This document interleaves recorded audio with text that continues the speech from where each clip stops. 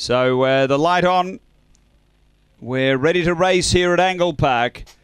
Race four, set, and away. And speed here, Springvale Bryn going quickly. Caprice Manelli early. Uh, Springvale Bryn pushing on. Gets clear out by three. Over Caprice Manelli, Long Gully Gilly. Next is McLaren Missile and Caroma Storm out the back. Uh, they've got a lap to run here. Springvale Bryn leads them up. Bit over a length, Caprice Manelli. A length and a half, Long Gully Gilly running on. Then McLaren Missile and about four away is Caroma Storm. Uh, Springvale Bryn, Caprice Manelli went straight past it. Uh, dashed uh, four or five in front here, the leader Caprice Manelli. Springvale Bryn second. Then Long Gully Gilly. Next McLaren Missile and Caroma Storm, but Caprice Manelli on the bend. Nicely clear over Springvale Bryn. And this is careering away Caprice Manelli. Caprice Manelli won it by oh, six or seven lengths. Springvale Bryn second. Third home Long Gully Gilly. Then McLaren Missile and Caroma Storm. The run 43 12.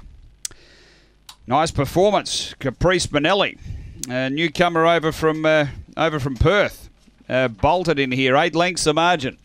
So it is uh, one, four, eight, and six. Caprice Manelli, number one. Tony Rasmussen, uh, Tim Aloisi and M. Lehman. A Black Dog, April 2014. Barcia Bale, Sharon Manelli. Number one, the winner. Uh, four, Springvale, Bryn second. Gavin Harris, a Brindle Bitch, December 2013. Oaks Road, Little Looper.